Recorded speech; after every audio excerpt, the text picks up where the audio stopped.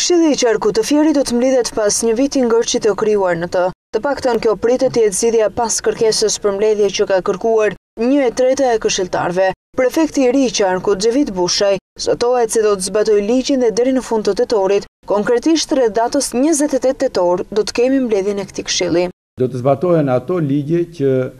normojnë ecurinë, zgjidhjen e të gjitha problemeve që kanë krijuar ngërçin në qarkun e Fierit. Por unë mund të them konkretisht, ne kemi bërë edhe gjatë këtyre pak ditëve që unë kam në detyrën e prefektit të qarkut Fierit, kam marrë disa takime edhe me të dyja pozicionet, qoftë edhe me përfaqësues të atyre që janë sot në qarkun e Fierit, Edhe me pjesën tjetër që pretendon dhe për mendimin tim është e ligjshme